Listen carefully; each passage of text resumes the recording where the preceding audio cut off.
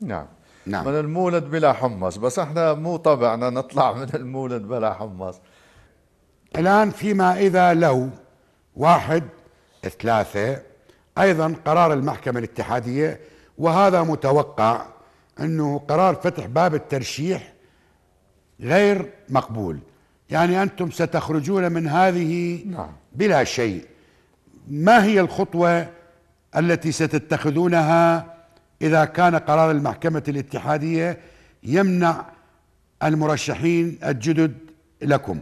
راح تطلعون من المولد بلا شيء. نعم. نعم. من المولد بلا حمص. بس إحنا مو طبعنا نطلع من المولد بلا حمص.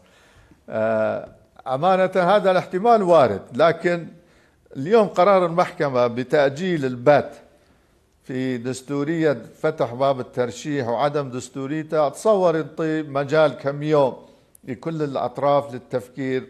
أنا في تقديري ربما مؤشر إيجابي في اتجاه حلحلة الموضوع لأن الدفعات اللي اللي قدمت اليوم أمام المحكمة الاتحادية أي. أنه ليش هيئة رئاسة البرلمان أخذت هذا القرار والسيد رئيس البرلمان اتخذ هذا القرار؟ لأن السقوف الدستورية والزمنية سقطت عمليا نعم.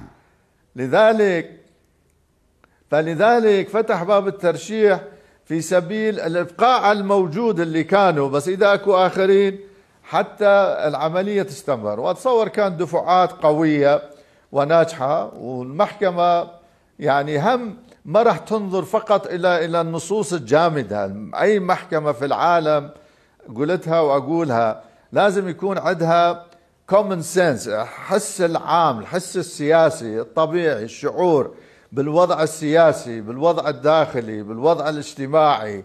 يعني ما معقولة آه، تذهب في في اتجاهات بالضد من كل هذه المسائل.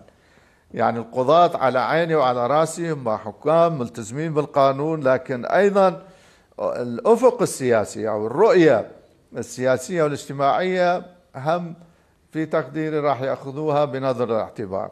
أنا ذاك راح يكون لكل حادث حديث. أنا ما راح أقفز إلى أي نتائج جاهزة إيش راح نسوي شنو برنامجنا شنو شلون راح نطلع من المولد؟ لا والله هذا سابق لأوانه. خلينا ننتظر إن شاء الله إلى واحد آذار وبداية طيب، أنا الربيع عجبني- وتجديد الحياة عندنا في كردستان.